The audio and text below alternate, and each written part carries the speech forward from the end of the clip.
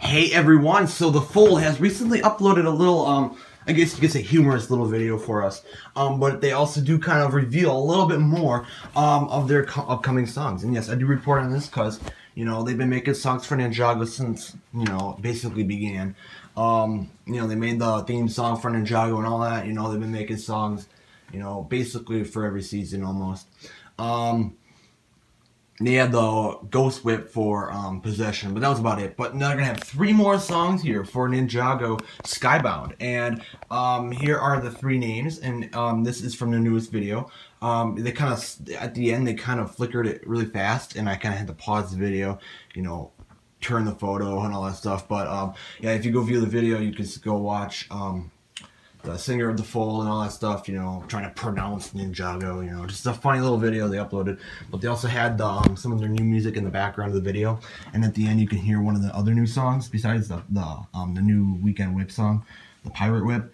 So you can hear like pirates in it. But here are the three new songs that have been revealed. Um, the Pirate Whip, of course, you know, it's going to be the new version of the Weekend Whip here that um, we get um, every season and we had the Ghost Whip last season for Possession, Tournament Elements, Rebooted. So they've been doing this since Rebooted.